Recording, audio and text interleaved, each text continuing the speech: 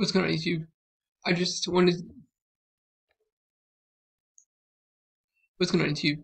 I just wanted to make a tutorial to show you how you can add a background to your Excel sheet. So to do this, you can go to page layout. Then as you can see I have the background up and so I'm going to click delete backgrounds. And then now as you can see under page setup there's an icon that says background. So I'm going to click that. And then after you do that, this box opens up.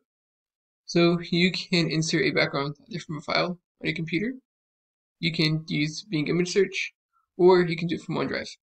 Now for this example, I'm going to use Bing. So you can either just search and see what Bing comes up with, or you can just click the little search icon right here, which is what I like to do personally, because whenever you click the search icon, as you can see, it suggests potential backgrounds that tend to work pretty good for Excel.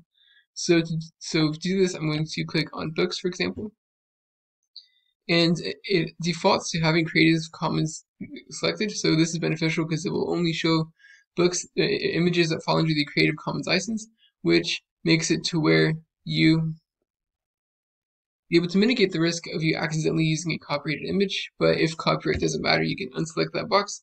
And as you can see, there's a lot more images available for you to select. Um, and so I'm going to have Creative Commons only selected right here. And also note this filter. So whenever you're selecting an image, be mindful of what you want people to see. In sense that if the, in the that the image size itself is an important consideration whenever you are looking at the whenever you are looking at the image you want to select. So if you want to show a small range of data, then do small, extra large, extra large. Type of image, whatever will fit best. Also the layout, so if your data is really, really long, maybe do a tall image. Um, if it's square, do square. Um, so, and as you can see, there are just different options as well. So color, um, whatever, you know, it helps you filter to see what works best for you. So for this example, I'm just kind of kind of randomly select an image right here. As you can see, it's a fairly large image that will work um, for, for many cases. But and as you can see, though the image does repeat itself until the entire space is filled.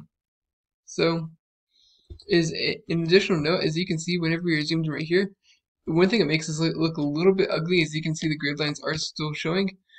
To make it where these grid lines will not show, you can go to view.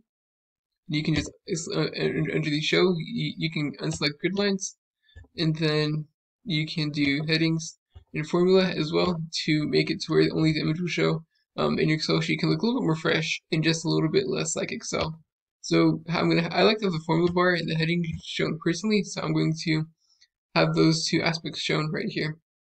So an important note, however, too, is that this is great. You to add a background, but an issue can arise because whenever you go to print this, the background won't show. So as a workaround, we are going to go to page layout. We're going to do delete backgrounds to get rid of the backgrounds, and, there, and are going to use a workaround to make it to where the image will show, um, and also so you can have more customization as to where the background will actually show. I'm going to go to Insert, Illustration, shapes and we're going to pick whatever shape you want. Let's just say rectangle for example. I'm going to do this right here. And as you can see, now we have a rectangle. We're going to hover over the rectangle and we're going to right click. We're going to go, and after we right click on, we're going to go to the bottom of this list. We're going to go to format shape. And then we are going to go to fill you're going to go to picture or texture fill right here. As you can see, this option shows up, and I had already had an image loaded, um, so it defaults to that. But you can add an image by doing insert under picture source, and there are different areas that you can get the image from as well. You can get the image from a file, from a stock image, an online picture, or just from an icon.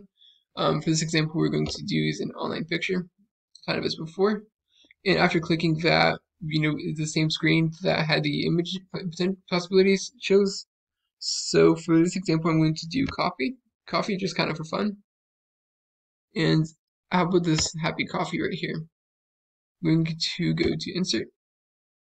And as you can see, one of the really cool things about this method is that if you use, instead of doing a general background, if you do the shape, the image automatically fills the shape and it's not repeating itself. And you can easily customize and see what you as you customize and see the size of image so you can have a lot of customization um, to make sure it just fits over your data range where you're trying to display very well. Now, one thing to keep in mind, in mind too is that you're going to want to adjust the transparency. As you can see right now, the transparency is at 0%. So I type into it, you know, I mean, you're not seeing anything, right? I'm going to go to that. I'm going to go to transparency. I'm going to increase the transparency, call it, this is kind of random number, but just kind of to get the point across to 84%. So now I type in cool right here. As you can see, now I can see the text under the background. And whenever you go to print, because it's an image, it will show. Um, so as you can see, it is a note. You have to kind of mouse over to get underneath the image, but this works. So with that being said, I really hope that you found this tutorial helpful, and I hope that it will help you make your Excel sheets look a little bit more awesome.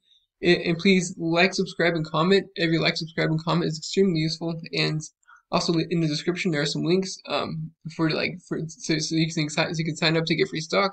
You can also thank you for watching.